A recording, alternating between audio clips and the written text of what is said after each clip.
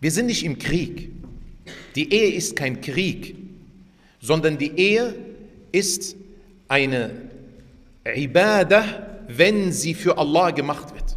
Der Nabi sallallahu alaihi wasallam sagte, und im Beischlaf ist eine Sadaqa. Und die Sahaba waren verwundert. Wie kann das sein? Das ist ein Trieb, etwas Weltliches. Wie kann man dann noch belohnt werden dafür? Da sagte der Prophet sallallahu alaihi wasallam, stellt euch vor, man würde es im Haram machen.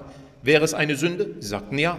Dann sagt er wasallam, wenn man es also im Halal macht, ist es eine Sadaqa. Spende nennt er es. Also die Ehe ist eine Güte.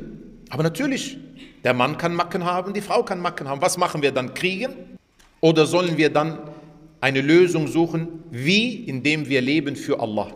Ich gebe nach für Allah. Die Frau gibt nach, der Mann gibt nach. Einmal er, einmal sie. Na, es ist nicht so, ich muss immer nachgeben. Kriegst du mehr Lohn? Kriegst du mehr Lohn bei Allah subhanahu wa ta'ala?